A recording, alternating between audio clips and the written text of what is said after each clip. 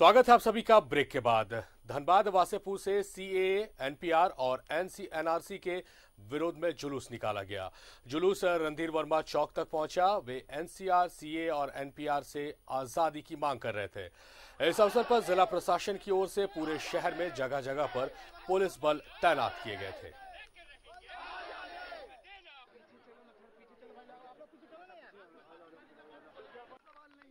ये देश का सवाल है। ये हमारा देश है, हमारा संविधान है।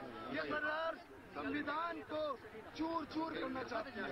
ये सरकार संविधान को चूर चूर करना चाहती है। सरकार देश को बांटना चाहती है। मैं बता दूँ आप लोगों को कि ये संविधान नेहरूवादी गांधीवादी जंगल पढ़ा है किसी ने सॉवर्निटी कोई जानता है?